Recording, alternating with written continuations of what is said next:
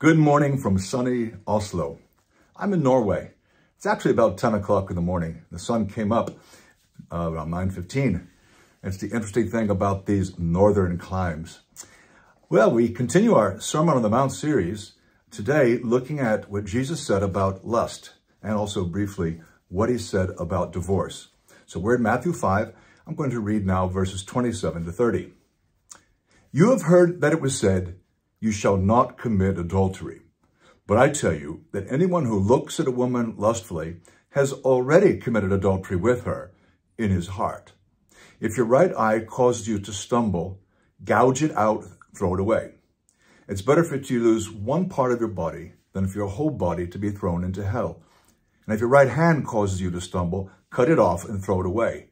It's better for you to lose one part of your body than for your whole body to go into hell. These are some of the strongest words in the entire New Testament. You know, the New Testament only has a few passages on hell, and they're normally the words of Jesus.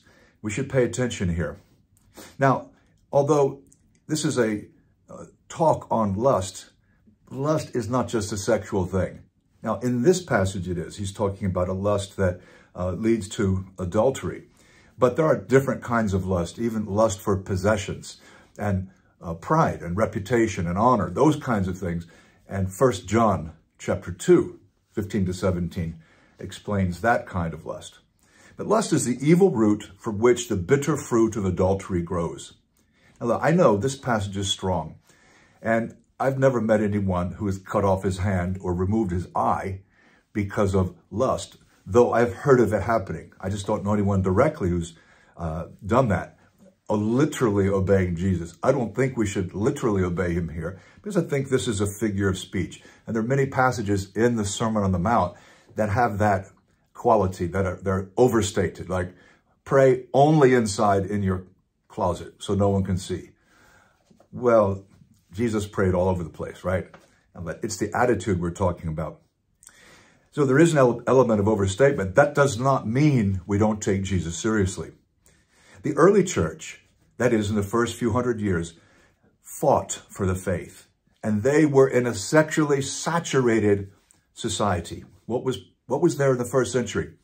And the following, pornography, prostitution, theater, art, baths, orgies, dinner parties, sex with slaves, homosexuality, pederasty, bestiality, people having mistresses, uh, X-rated poetry, and much more.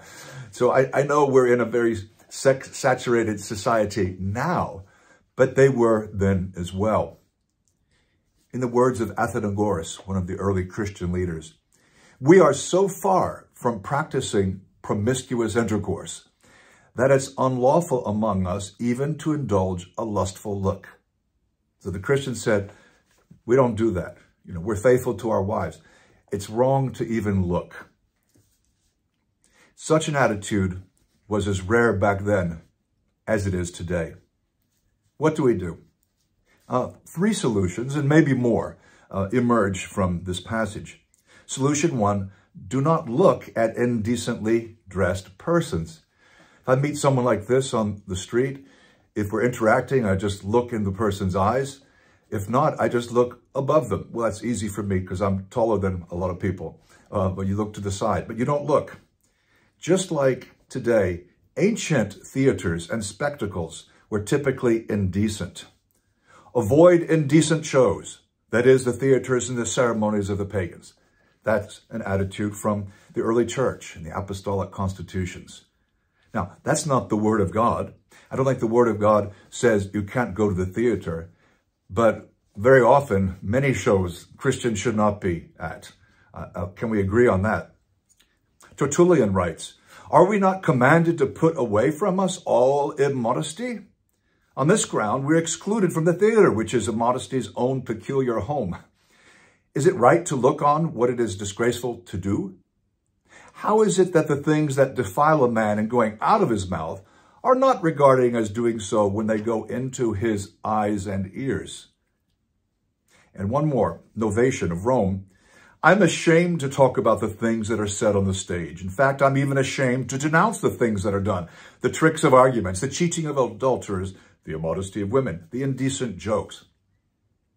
So Jesus may have overstated for effect the literary device called hyperbole, but he was understood very well. Now, the Christians weren't cutting out their eyeballs with a grapefruit spoon, but they did stay away from places of temptation.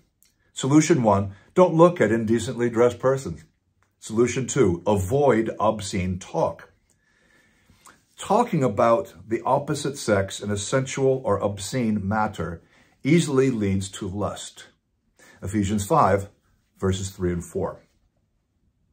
Some versions say, let there not be a hint of sexual immorality among you. That's a paraphrase. What it actually says is, it shouldn't even be named among you. That means it shouldn't happen among you, but even to talk about it can be hard. Let's go to another early Christian source.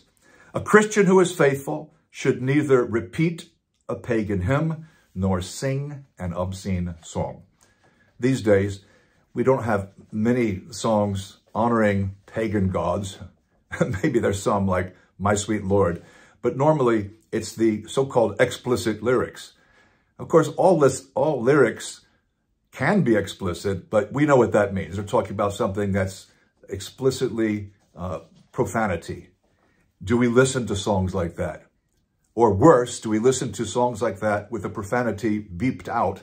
Because then it reminds you of what the missing word is, and now you know the word. You've thought about it even more than if you just heard it. Avoid obscene talk. And solution three, dress and behave modestly. Modesty, of course, is much more than um, not exposing or exhibiting parts of our body. I mean, our, our body is a temple of the Holy Spirit. People will see our bodies. That's one reason that we should be in control and be temperate. And But it's much more than that. Uh, 1 Timothy 2, 9 speaks of modesty uh, involving what we do with our hair or jewelry or things like that. And course, what's obscene in one society may be the norm in another. And we have to discern, is that bad or is that neutral? I'm not here to try to uh, explain all that here. But obscenity can pertain to the, the cost of certain items that we have. We're living in luxury. A price tag can be obscene. We, we hear this, you know, uh, obscene, like incredibly expensive. How can you spend that much money when people are starving? So modesty is much more than just sexual chastity. And also, uh, I think it should be said that true beauty is something that's inward. Peter says that in 1 Peter 3, 3. Well, Clement of Alexandria, and then we're going to look at Tertullian, uh, two uh, church leaders uh, in uh, Africa. Clement said, on the one hand, we, we must keep from exhibiting and exposing parts of the body that we should not exhibit. On the other hand, we must keep from looking at what is forbidden. So it's not just the looking that's the problem, it's causing other people to stumble.